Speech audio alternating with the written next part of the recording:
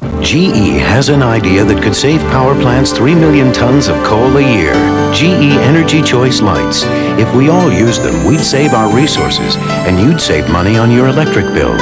GE Energy Choice.